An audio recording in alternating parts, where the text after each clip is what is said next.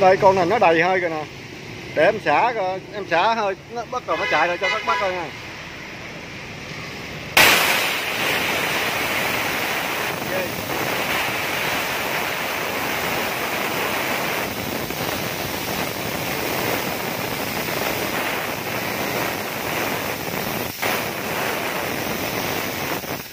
Đó mới chưa được 7 kg nữa là nó chạy lên nha các bác.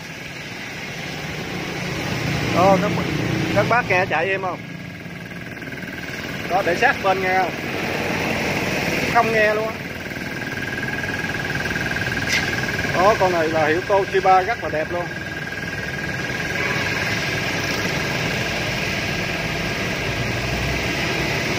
Các bác có ờ, nhu cầu sử dụng con này thì ờ, các bác liên hệ là với công ty Đức Tùng là 0938 312 207 nha.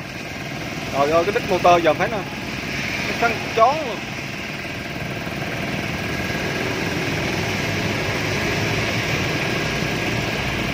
Hai con này hình như là ta chưa xài luôn các bác. Đây. Con nào cũng vậy.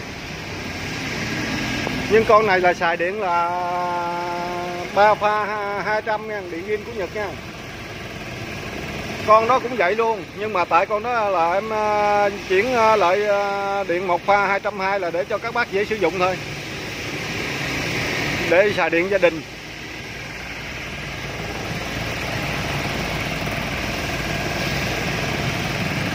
Con này chạy im lắm. Đó, các bác có nhu cầu sử dụng thì liên hệ là với công ty Đức Tùng là số điện thoại là 0938 312 207 rồi, em xin chào các bác. Dạ em chào các bác nha. Công ty Đức Tùng có về à, hai con bơm hơi nha các bác. Hai con rất là đẹp. Đây. Đây, một con là hiệu Toshiba đó, em đang à, test chạy nè còn con bên đó là hiệu Fuji đó. Cái con này á là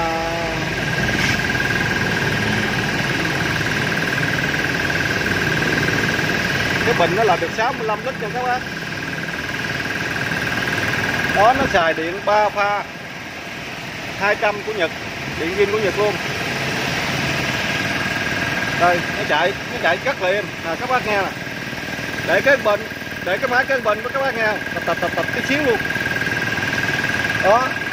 Con này là nó được uh, là đồng hồ nó cho mình là 11 kg nè.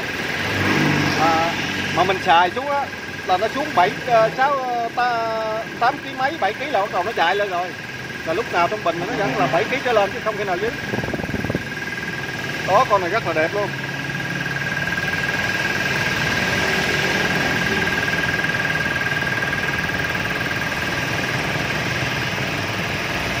Em chưa có lau chùi gì hết trơn luôn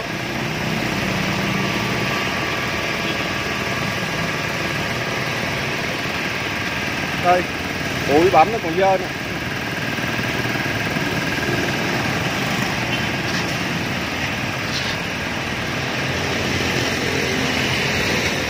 Con này nó chạy cái uh, motor là 0,7 cái ờ, cái 0,75 kW nha. Motor cũng motor hiệu Toshiba luôn.